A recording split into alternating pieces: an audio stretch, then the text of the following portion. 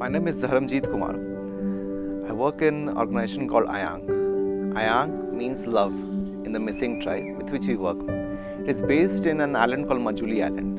It's an incredibly beautiful island surrounded by two mighty rivers, Brahmaputra from one end, Subansiri from the other. Majuli is a home for a population of about 160,000, mostly belonging to a tribe called Mising Tribe. Majuli is also a place of incredible varieties of birds, animals, and whatnot. This beautiful story is also a story of a struggle. The struggle is about a life between floods and erosion. Every year, the island faces incredible destruction, from floods. Floods from end to ends bring about huge damage. And every second, some part of the island is getting dissolved into water. So it is in this struggle we are trying to work in the area of school education. My name is Vatan Sani. Uh, I graduated from IIT Kharagpur, and uh, after that I worked uh, in a coaching institute in.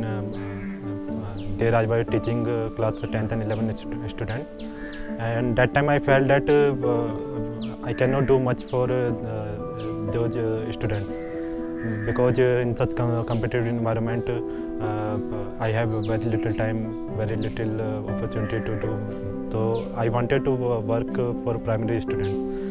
And during those days, I uh, came to know about uh, Bipin. Uh, Bipin is starting one school in Majuli, so I mm, plan to visit for, and there I will see what will happening there.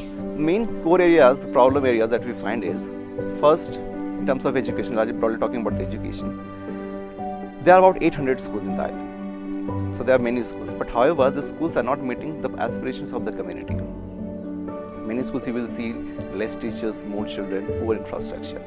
So kind of education environment that you wish that school happiness, mostly it doesn't have. Then there is a slightly disconnect between not slightly major disconnect between the community and the schools. Very less participation. As i mentioned at the beginning that this island is losing land. In the last 50 years it has lost about 60 70 percent of its total area. And the government report suggests that in the next 30 years it might just the whole island just goes into the water so in that, context what happened to children who will go out of the schools? Where will they go? So that is one of our uh, um, the thing that we want to work this intention. Because this is such a isolated uh, place. So uh, um, whatever um, taught in outside places those uh, things will not be applicable here. So we have to uh, design a curriculum which is specific to those tribal children. So with that keep in mind uh, we uh, we are experimenting with uh, the many things we are uh, trying to uh, uh, include the uh, folk tales uh, and uh, their singing uh, uh, some dance age in our curriculum. We are using the local resources. Uh, uh, uh, we bring uh, local uh, uh, local carpenter something like that. Uh, in our school, we invite them and uh, try to teach them those uh, crafts and uh, other things. The major struggle so far has been the first the dialogue with the government. Second is the context.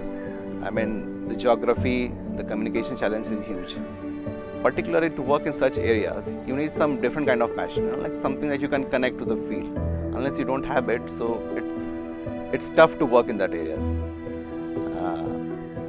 A little inside you go, there's no road connectivity. All these kacha roads are there. So one rain and the, you, plan to do many other things on the whole day and then one rain comes and the entire plan has to be changed.